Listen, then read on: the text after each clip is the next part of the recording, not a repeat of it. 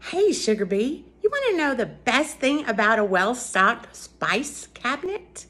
You can go to a different country every night. Tonight, we're going to Morocco. Come on.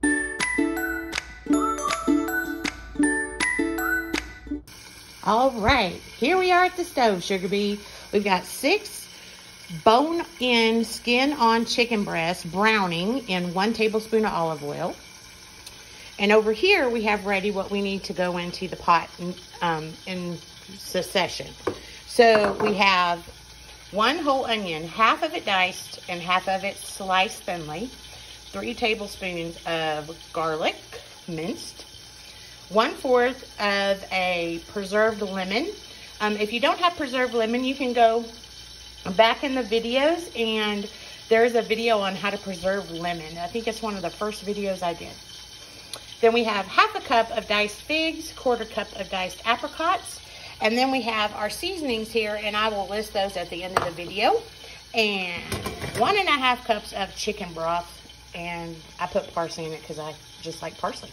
All right, once the chicken is nice and brown, take it out and add your onions and your garlic.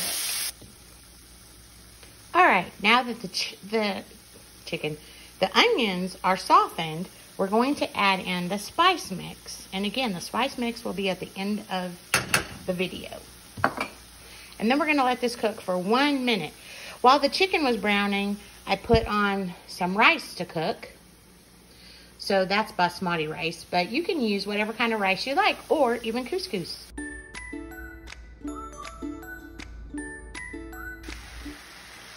All right, at the end of one minute, add your chicken back to the pan, add your figs, your apricots, and your preserved lemon, and one and a half cups of chicken broth.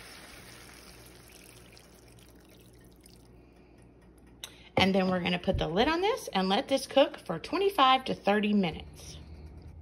And there we go. It's all ready to eat. It smells amazing. I wish you could smell it. All right, you guys go make you some Moroccan dinner tonight.